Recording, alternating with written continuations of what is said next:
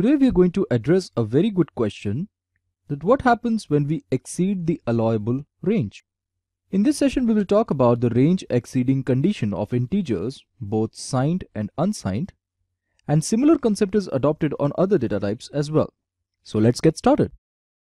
Here in this example I had provided an integer variable and that too an unsigned integer variable and assigned it a value 4294967295 which is the maximum allowable value of an unsigned integer. Let's see what happens when we try to execute this code. And this is what we are getting as a result. 4294967295. Now this is quite expected, right? Let's change the value a little bit. I'd exceeded this value to 1 and make it 4294967296 and see what will happen when we try to exceed the range. We are getting values equals to 0. Now this is quite weird, isn't it? To understand why this happened when we try to exceed the range, we come back to 0 again, we need to take one short example to help illustrate the fact. In this example, I'm taking a 3-bit data and have written all the possible combinations of a 3-bit representation. We can say 000, 001, 010, 011, 100, 101, 110, and 111 we are having the value from 0 to 7 for a 3-bit representation. The minimum value would be equals to 0 and the maximum value is equals to 7 and this is our range. Okay, let's see what happens when we try to represent the value 1 greater than 7 that is 8. We won't be able to represent this value 8 in a 3-bit representation. As you can see, 4th bit place value is equals to 2 raised to the power 3. Therefore, if we want to represent value 8, we need to set this bit and rest of the bits we need to reset. If we force ourselves to represent the value 8 in a 3-bit representation, then we won't be able to do that and we left with these 3 bits only. As this 4th bit won't be able to represent in our 3-bit representation, therefore we can say that in a 3-bit we are getting this value as equals to 0. As in 3-bit representation this 1 bit is hidden and with the rest of the bits this is equals to 0. If we want to represent the value 1 higher than that, that is 9, we won't be able to represent that as well because this fourth bit is not available to us and we are just available with these 3 bits. Therefore, whatever is there inside these 3 bits, we would be able to represent that only and that is equals to 1 in this case.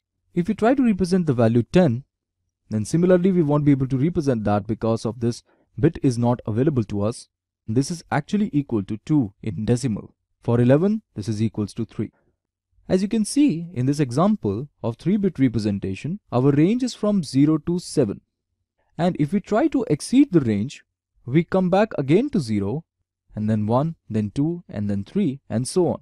That means we are actually performing some kind of cycle or something, starting from 0 itself to up to 7, and then 0, then 1, then 2, then 3, then 4, then 5, 6, 7, and again 0, 1, 2, 3, and so on. This is nothing but acting like a mod function.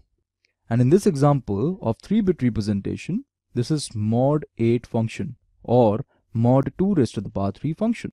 This is because if we try to represent the value 8, why we are getting value is equals to 0? Because we apply 8 mod 8 which is equals to 0. Mod gives us the remainder and this is the difference between a division and a mod function. Division provides us the quotient as a result and mod gives us the result as a remainder. Therefore, when we divide 8 by 8, we get result is equals to 0. Similarly, if we try to divide 9 by 8, we get result is equals to 1 because remainder is equals to 1. And if we divide 10 by 8, we get remainder is equals to 2 and so on. Similarly, for a 32-bit representation, if you try to exceed the range, then you have to consider one extra bit, that is 33rd bit. But as we are available with only 32 bits, therefore there is no way we would be able to represent higher value than the maximum value and we come back again to 0. We can say that for 32-bit unsigned data, our mod function would be mod to raised to the power 32. For n-bit unsigned data, this would be mod 2 raised to the power n in general. Now let's talk about the signed range. Signed range is little different but the idea is same. Let's again take an example of a 3-bit data. For a 3-bit data, signed range would be minus 4, 2 plus 3 according to 2's complement representation. Now it's quite easy to represent the number in 2's complement and see what happens. when we try to exceed the range, but it would be much better if we visualize it in a different way. Let's take an analogy of a clock. Like a clock is mod 12 function because when it's 13 o'clock, it means 1 o'clock. Isn't that so? Because we are available with numbers from 1 to 12. Therefore, if we want to represent 13, we are actually coming back to 1 again. Because 13 mod 12 is equals to 1. This clock analogy helps us in understanding these range exceeding conditions. Let's visualize this. As we know, for 32-bit unsigned integer, range would be from 0 to 4294967295. And if we try to exceed this maximum value, that is 4294967295 to 4294967296, we come back again to 0.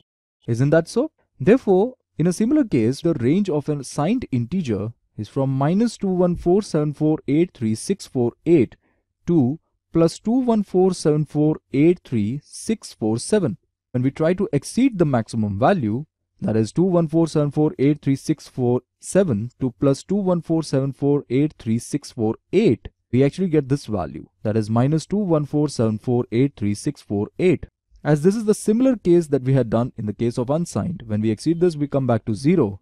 In the similar fashion, when we exceed this, we come back to this minimum value, minus 214748364 and if we try to represent number minus 214748364 which is one lesser than minus 214748364 we would come back to the maximum value which is plus 214748364 Let's try to verify it by executing in code block.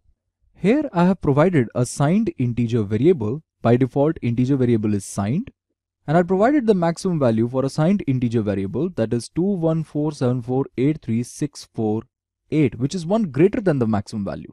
Let's see what happens when we try to execute this code. Isn't that our expected result? That is minus 214748364 which is the minimum value possible for a signed integer variable. Let's change the code a little bit. Change this to negative value and make it 9 and this is what we are getting as a result. 214748364 which is the maximum value in our signed integer. Okay friends this is it for now. See you in the next lecture. Bye bye